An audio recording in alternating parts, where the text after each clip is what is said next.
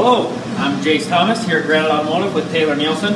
Uh, today we're going to talk to you about how to make a winter survival kit. That uh, season is right around the corner, coming Thursday supposedly. So if that were to happen, we're going to teach you some things you should have in your vehicle, uh, just in case you run into an unfortunate situation. What do you got, Taylor? Well, first up, tow rope. I have a vehicle that can actually pull people out of the ditch. So I tend to do that more times than I'd like to count every single year. And I stress that people keep these just in case they want to be pulled out of the ditch too. Not everyone has a tow rope, so if you do, you know, helps your chances of being pulled out. Here, this is a good one. An ice scraper. I think most people have these in their vehicles anyways, and we have some here. If you don't, you can always swing by and we can get you one. But uh, obviously, a good thing to have around on the cold uh, winter mornings. You don't have a garage to park in, and you got about a quarter inch of uh, ice on your windshield. That's never a good deal. So, ice scraper. Okay, next up, can't see them, but the jumper cables. Uh, always a good idea. always a good idea to have these. Uh, you know, in the winter times, our vehicles might slow down if you don't plug in your diesel. You know, it might not start, especially older, older models. So it's a good idea to keep your jumper cables, and then uh, hopefully your friend can, you know, get your battery going again. Terrible towel. If you're a Steelers fan, you got to keep one of these. Actually, it's just a good idea to have if it's uh, maybe uh, you're stranded in the middle of nowhere.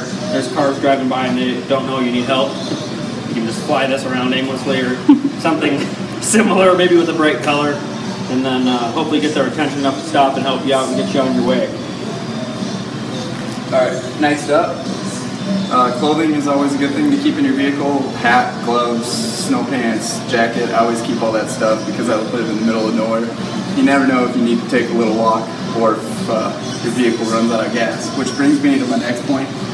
Uh, you should always keep your fuel level really high or full whenever you can during the winter time.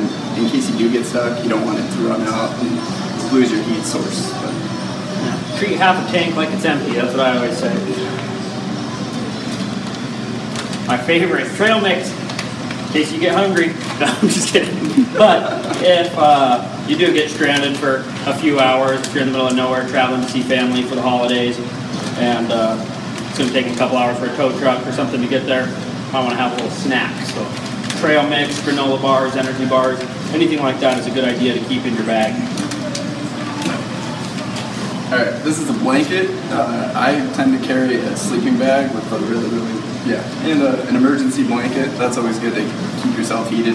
I usually keep a sleeping bag in my vehicle though, just in case there's, you know, you, if you get stranded and you want to stay warm, it's a good idea to save on gas. You can turn your vehicle off and just use your sleeping bag. This is a must, a flashlight. Kind of a good thing to keep year round. Um, obviously, it gets pretty dark pretty early. Um, it gets light pretty late, so you might as well have a flashlight around just in case you need one of those. Okay, next up, shovel pretty important, especially if you get stuck. I always keep a shovel in the back of my vehicle, uh, whether to dig somebody out or to dig your vehicle out. Yeah, gravel's good too. Also, if you get stuck, you can pour it in front of your tires or behind them, uh, depending how you're trying to get out. But it's also nice if you're walking somewhere and it's icy. You know, I carry one in my vehicle for even when just when I get to work in the morning, uh, when we've had some snow or ice, you just kind of sprinkle it on your way in. That way, prevent uh, slipping and falling and injuring yourself, but it's uh, good for a couple different reasons. So that's a big one there. Along with uh, the food that he was talking about, it's good to keep granola bars or anything in your vehicle, or if you have a you know little stove with your uh, like backpack or pantry or whatever. Anyway, water is also a good thing to keep with you, uh, or just even an empty bottle. Obviously, if it's the wintertime, there's snow all over the place you can just fill the bottle and heat it up and melt snow and drink that if you really need to. But yeah, always good.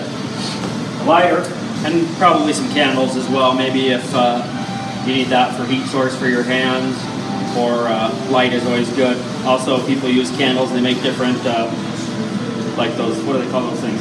They're like orange, and you can light them to help grab people's attention. A flare. A flare. Yeah, flare. That's the word I'm looking for. flare is a good idea. Fireworks. I don't know. Those might work too, but always keep a lighter, some candles. similar items. Uh, if you do, if you're in the range of service, or you know, just to keep your phone going, obviously a car charger is really nice to have. Obviously, you're gonna want to keep your gas level really hot, so you can continue to charge this. And you can pull up your maps just to make sure you, you well, to figure out exactly where you're at on the map, just in case you need to tell somebody who needs to come pick you up and pull you out of the ditch.